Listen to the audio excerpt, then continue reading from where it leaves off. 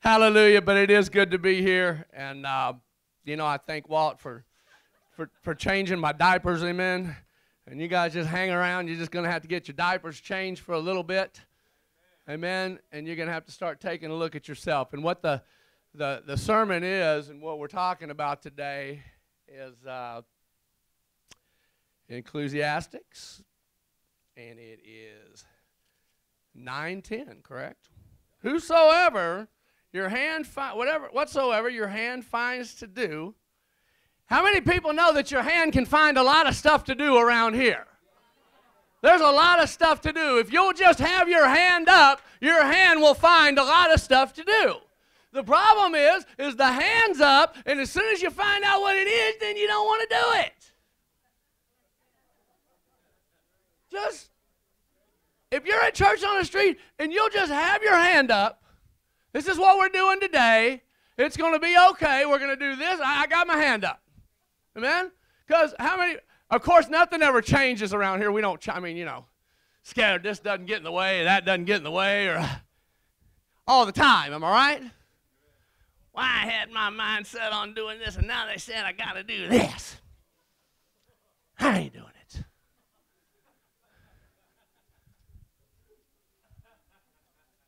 Every day. Let's take somebody like Pastor Bill. Am I right, Bill? Every day, if Bill didn't, wasn't, wasn't flexible, you'd be in big trouble, wouldn't you? Because this is what we had planned. Amen?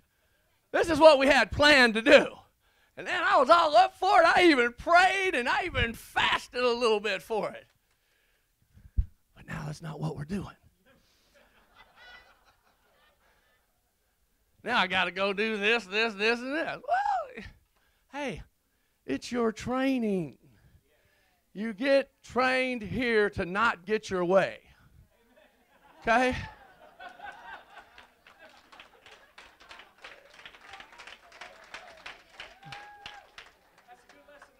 So, so therefore, if you're getting trained to not get your way, you have to understand that it's not your way, it's God's way. So, therefore, you get right here at good old church on the street, we begin to get flexible about not getting our way, don't we? Because if we don't get our way, eh, and I was one of the worst probably he's ever dealt with. Amen. Because I was. I, I, I, you know, I always thought about that. I thought, my God, I wouldn't want to be Walt or Jim and have to deal with me. You know, Pastor Jim's the, the other guy that, that, that, that helped pastor me and, and bring me up for, for three years. What I learned from Pastor Jim is, is how to trust God. I really did. Because it's, you know, he, Jim just does his thing. But it remains and remains and remains and remains. Amen? Amen. And he just keeps, just, you know, people just, we got to learn how to trust God. Amen. I truly believe to have a happy life, mankind must work. I really believe that because we need to have that sense of accomplishment. See, when you're just not doing anything and you just don't care and you're not taking it seriously, what's happening is, man, is that you're not being faithful you know, you already should know. First of all, be aware of what you're in. It's called Church on the Street. And it's called It Ain't Gonna Be Your Way. This ain't this ain't Burger King, okay? This ain't Burger King. You can't have it your way. That's right. Special orders do upset us, okay?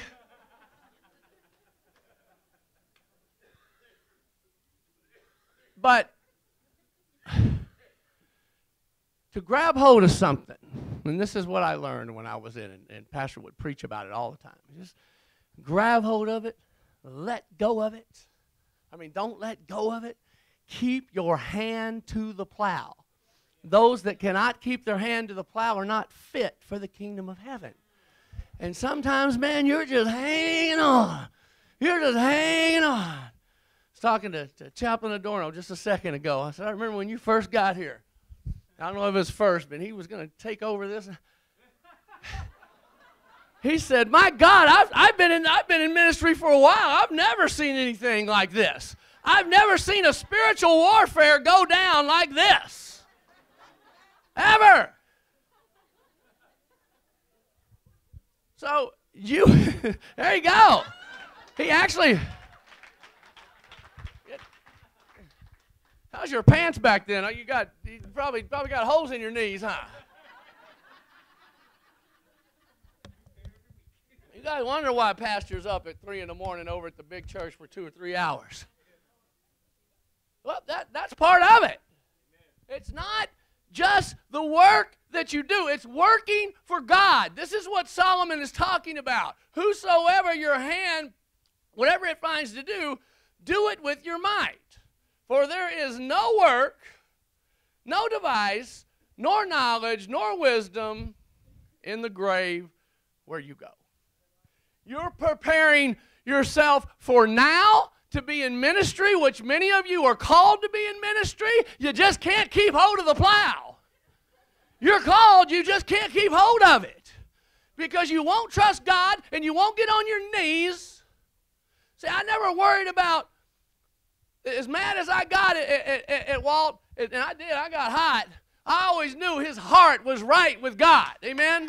I always knew that he had my best interest in hand, and I always knew, amen, that that that it's just me. I always knew I could just keep my big mouth shut and everything would be okay. I always knew I just be quiet, pray, don't worry about it, know that I'm not responsible for it. He is. Amen?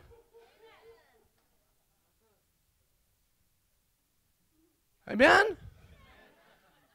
You're not. Take that pressure off of yourself. You ain't running nothing but your mouth, okay? That's it. It's called pride. Pride. Pride. Let the old pastor have it. He's been, yeah, God, I've never seen anybody tangle with people like that. You know what I mean? God uses one person. Amen? Okay? And when everybody gets in line, we gets called unity. Amen? But we fight and we buck. We you, you, you gotta you have to learn, man. You have to learn. This ain't the world. Amen? This ain't the world. Do you understand that?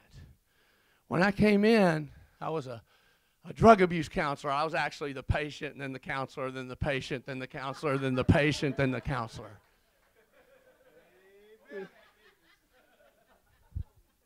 And I was going to tell him how to do it. I mean, he didn't budge, man. I thought, man, I've been able to manipulate people. I've been able to. Because you just, you just stand on the word. There's no manipulating, which people do, but there's no manipulating the word. The word is the word. The word of God is the word of God.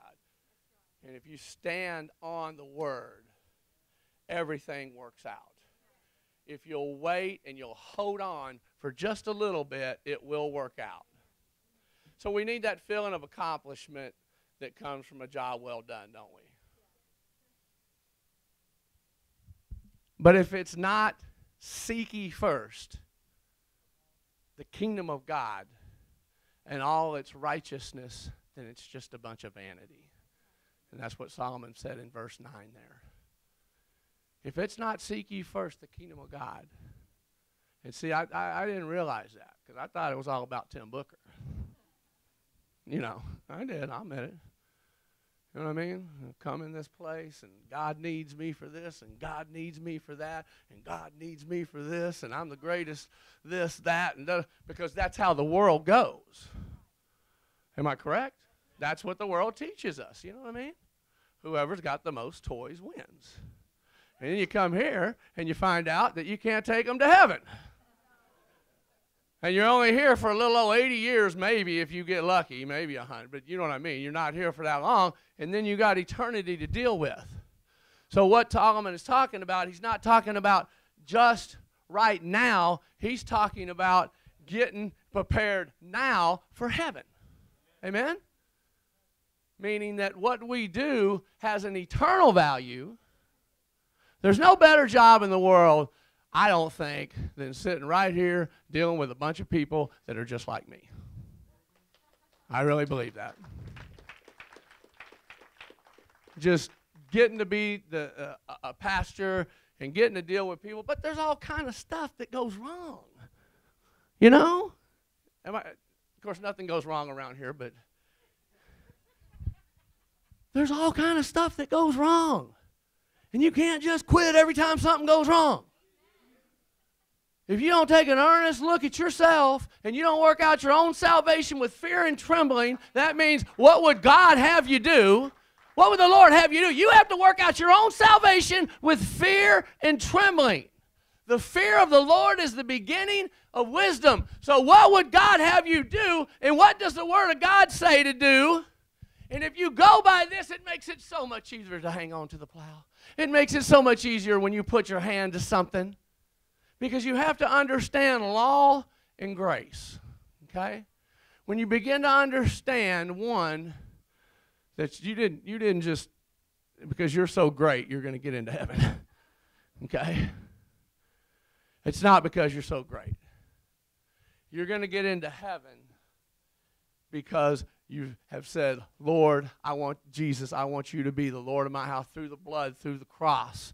Not anything of my doing, except for simply, I believe in you. That song, I believe in Jesus. Amen. I believe he's the Son of God.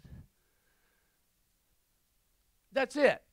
Take your take, take the load off with all your all your bad deeds, everything. We all got them. We all, you know, I get reminded every day that I ain't made it. Amen. I get reminded every day that hey, I don't know how far along you think you are, but you ain't as far along maybe as you think you are. Because if you were if you were as far along God has to do it. God has to intervene. When you're working for the Lord, you have, there has to be a point where you don't take your hand off as far as quitting, but you take your hand off as far as you doing it. And when you take your hand off as far as you doing it, then you just throw your.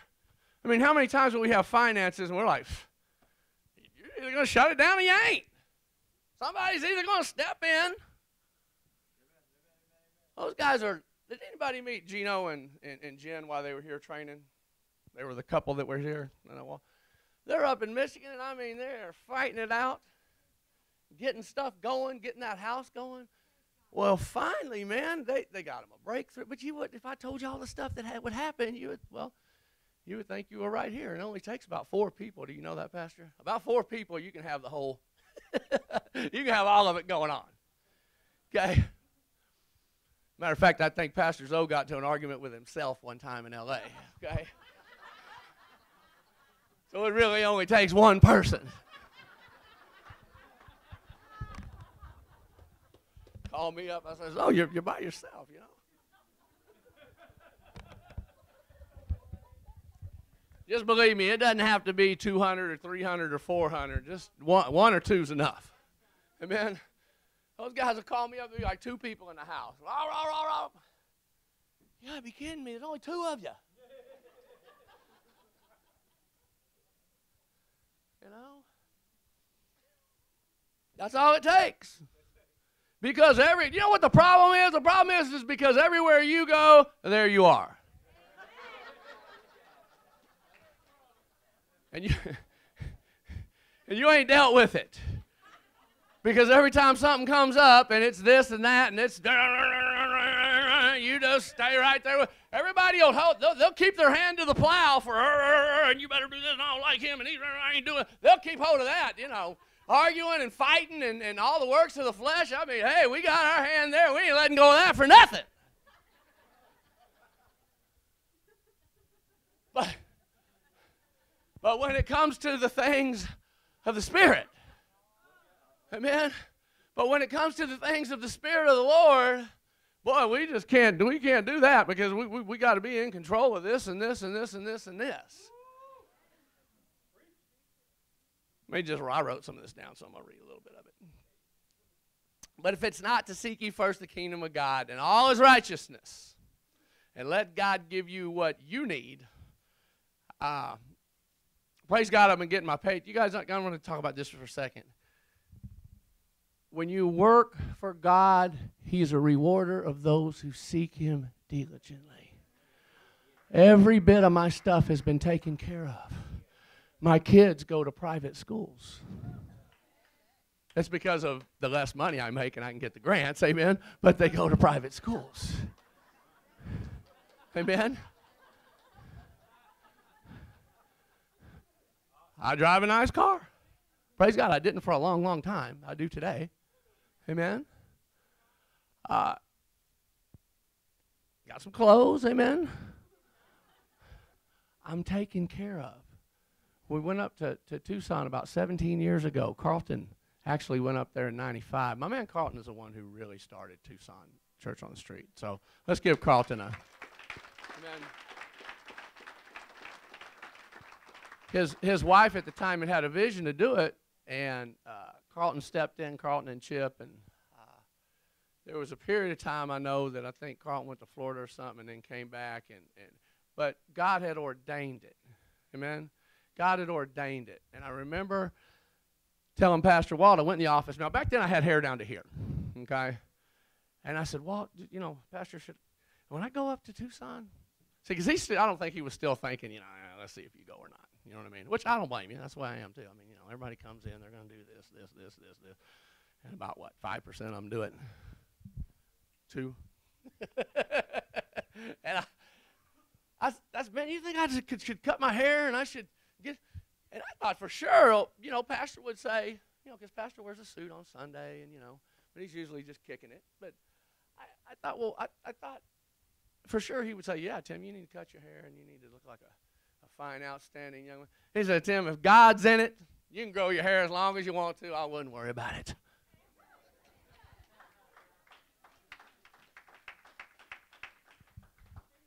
the world versus the spirit. Amen? And that's what a lot of times what we run up against. So I've been taken care of. Right now, we're in a little bit of a financial whatever. Not too much. We've been worse. We've been way, way worse. But you know what? God, that's why in the Old Testament, God would always have them make monuments of stuff. Even when they crossed over the, the Red Sea, God said, We'll leave these rocks and get these out of the, the, the River Jordan so there'll be a monument so they'll remember what I did. So that's why when we're, when we're carrying the cross, it's so that people will remember Jesus Christ and they'll remember what he did when people are walking by and they are driving by, they see that cross, they ain't thought about Jesus, some of them probably for years. And I guarantee you, there's some that break down right there in their car and go, Oh my God, am I that far away from you? Because that's how much power that is in that cross.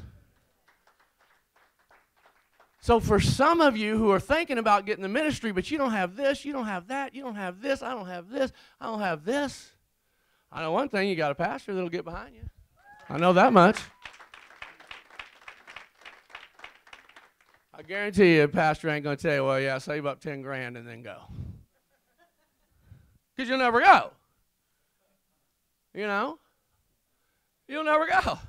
He'll just say, hey, man, you know what? Go out there if he feels that, you know, you're ready to do it. That's the other part. You know what I mean? If you're ready to do it, then, you know, don't worry about all that. God's got some stuff for you to do. He's got a calling on your life. I believe that everybody that comes into church on the street, God's got some kind of purpose. God's got some kind of ministry. God's got something for you. But you will never achieve that unless you keep your hand on the plow. And you cannot keep your hand on the plow unless you humble yourself to the point of where you just don't think you can take it anymore. And when you don't think you can take it anymore, guess what, baby? You may have to take a little more. Amen? And when you don't think you can take any more, you may have to take just a little bit more. God knows where your breaking point is. God knows exactly where your breaking point is, and He will not give you anything that you can handle that you cannot handle. There is no temptation that is beginning to you, all except for what is common to man. That means you ain't this super spiritual something, so you're going to get a little bigger temptation. And I just couldn't handle it because that was bigger than what he got. Nobody's ever thought of that, have they? Well, devil, you better bring the whole package.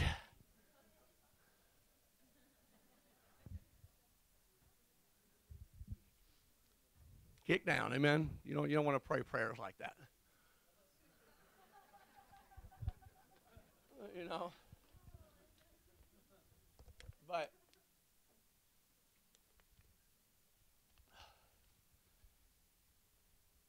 God's got it all under control.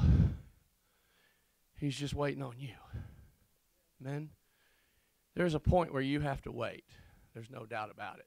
But there's a point where you are proven faithful, and then it's let's get on to the next thing. I remember when I first got here, I was in charge of the steps at the White House. So, you know what? I just said, you know what? Those are going to be the cleanest steps that anybody's ever seen. Amen. I had that wisp. I'm somebody I'd be sitting down there, and somebody would walk by, and they get a little dot on that step. With that wisp broom, you know. I remember one time John hurled the vacuum cleaner down the steps. I get into that. I was sitting there and I was watching my steps, and sudden this guy John Brad, he just threw the vacuum cleaner down the steps, and I mean it went boom, boom, boom, boom. You old rascal, those are my steps.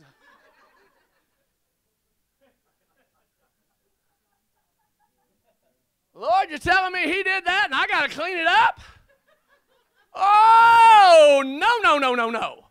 Somebody need to whoop him till he gets a whisk broom himself. I'm telling Pastor Walt.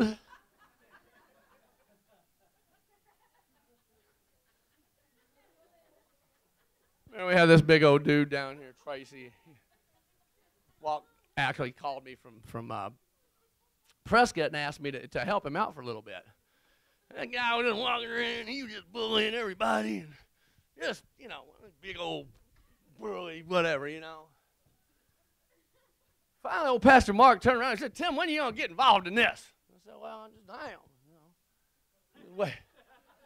You know, uh, I said, look, I'm going to show you how to deal with this. Okay? And I had to go up and I had to get in the dude's face and say, you know what, dude? You ain't coming in the White House. Get your butt over to the deal. Da, da, da, da, da, da. And I put him and then I chapped him as he was walking. And the big old burly dude turned around and said, I'm telling Pastor Walt.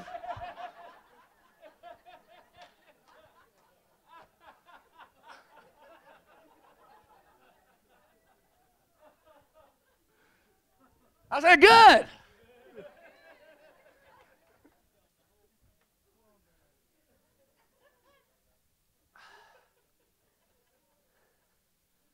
The point I'm making is that God put me over the steps.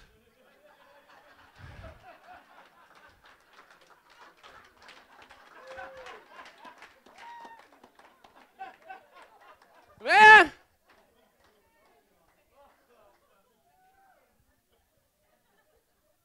So I got my whisk broom and all that stuff that John just cleaned it up. Amen? Just because it doesn't go how you want it to go, that doesn't mean that you can't be faithful. You got to stay faithful no matter what. It, it, it, it, I got it. You know, you're the biggest and you're the baddest and you're, you know, and that was one thing that, that, that I noticed when I came into church on the street.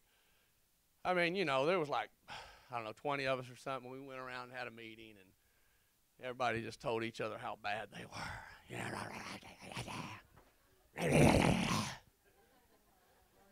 Oh, Nobody that walks on church on the street is worried about you whooping their butt, okay?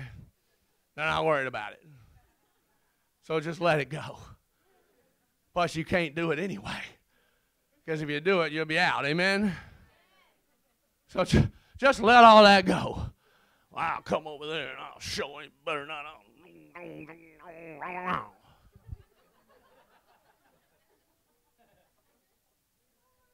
That's called you doing it yourself. Amen? Why don't you let God walk over there why don't you let God do it?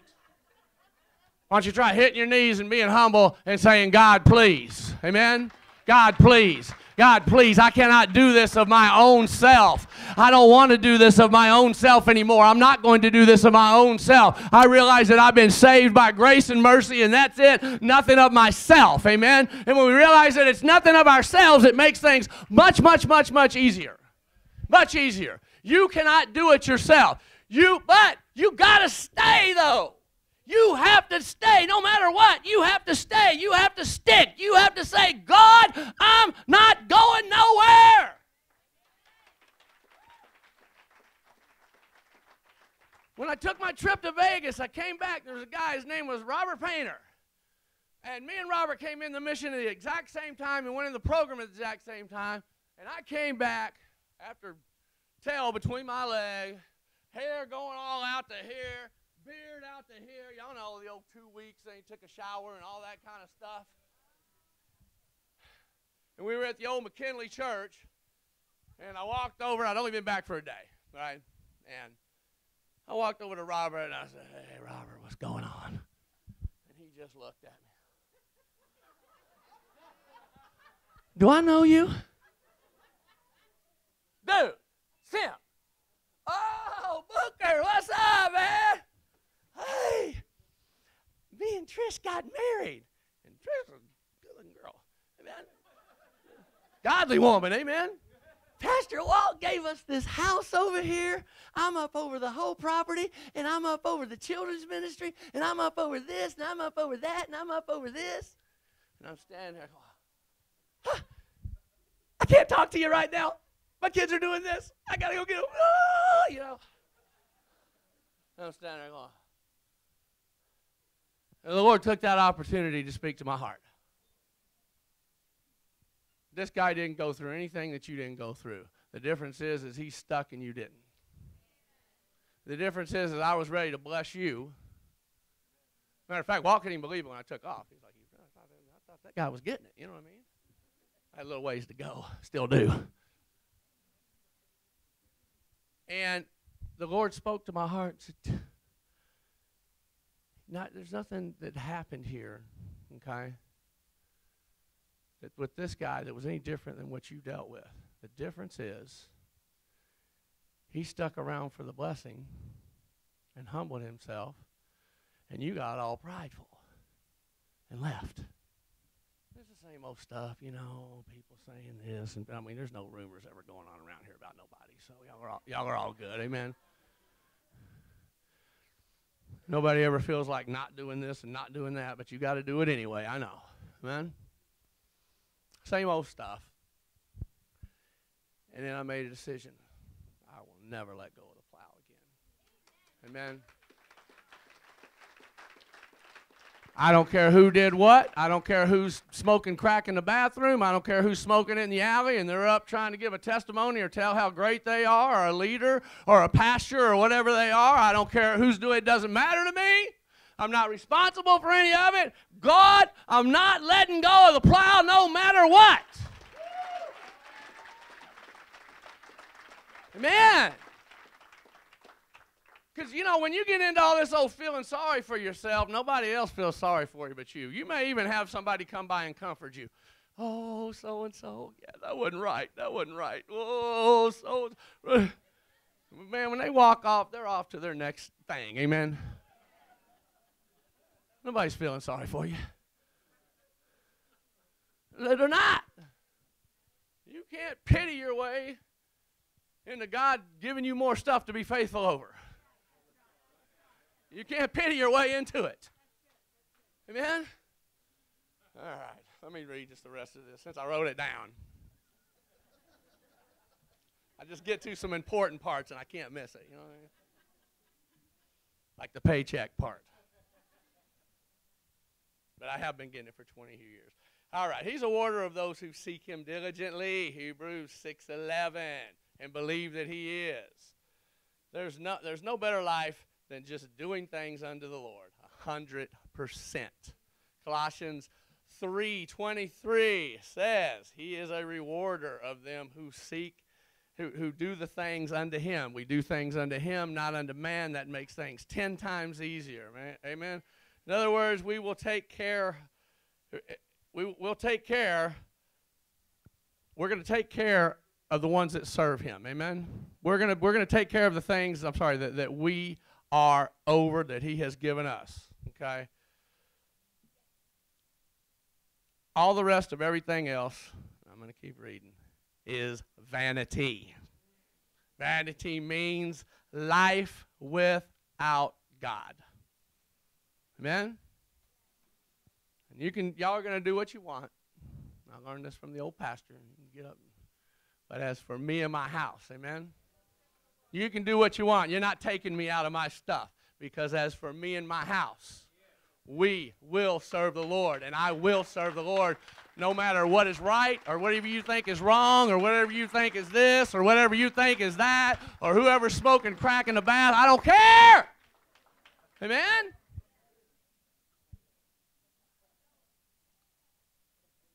we will serve the Lord. Am I right? Are we going to serve the Lord? Luke 9, 9 62, put your hand to the plow and don't look back.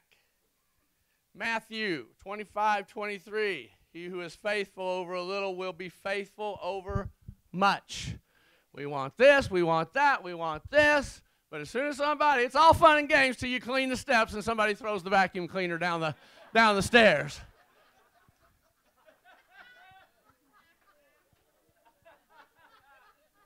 You know? And you got to clean it up. I'm telling Pastor won't.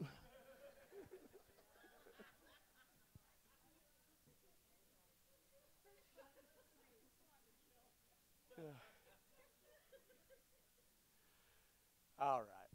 The work has to be done through our faith, through our faith that God that God will do it. Amen. Not us. You cannot, you will not stay in this, you will not be here, you can't unless you do it through the Lord, our Lord and Savior Jesus Christ. Just real quick, turn over to Romans 8 2. 8 2. Mm-hmm.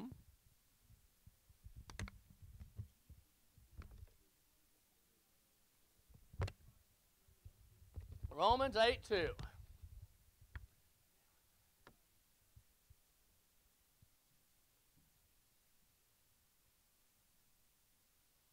The point I'm making is you can't do it yourself and you can't do it under law. For the law of the Spirit of life in Christ Jesus has made us free. Not you. The law of the Spirit. From the, it's made us free from the law of sin and death. Amen? Through the cross of Christ. This means that if the believer attempts to, if the believer attempts to live for God by any manner other than faith in Christ and the cross, he's doomed to failure. If it doesn't go through the cross, God doesn't recognize it. If it doesn't go through the blood of what Jesus did, he doesn't recognize it. The work was finished. You have no more work to do. It's done. Amen? Therefore, in the eyes of God, I am justified by my faith, and my faith alone. Amen? And I have peace with God. You have peace with God. A lot of times we don't hang on to stuff because we think God's up there all mad at us and, you know, we shouldn't do this anyway because, you know, God's up there. As soon as I can do this, He's just going to put me to the curb anyway. We ain't put your old butt to the curb yet. You might want to consider that. He's with you. If God is for you, no one can be against you. So, therefore, when you get ready and you put your hand to the plow and you put your hand to something that you need to do or you know that God has you to do, you do it with all your might. You do it with everything you got. But you say, it's not, it's not like like Pastor's always talking about, you know, he's trying to grow a beard. You can't. Not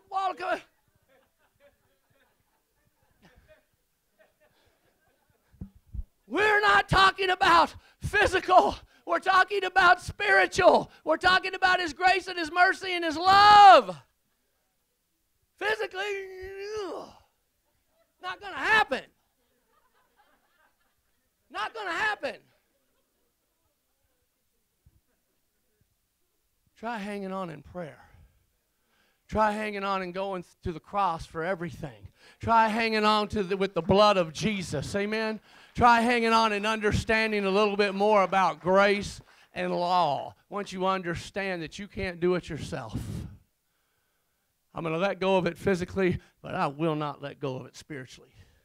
I'm going to let go of it physically, but spiritually, I'm going to give it everything I got as far as prayer and saying, God, it's yours, and me humbling myself and me going by what this says. If you'll just go by what this says, amen, you'll find yourself in the position of being in God's will, and life will be much easier, and you will accomplish things that God I remember Walt was talking one time about being astonished. Just wanted to be astonished, you know what I mean, by God and what He does. There's situations that come up. I'm going to quit in just a second. There's situations that come up in your life, and God will have them come in your life just so you'll know that He's the one who did it, not you. Amen? But we don't let go, and we never ever quit. Amen? Amen. That's it.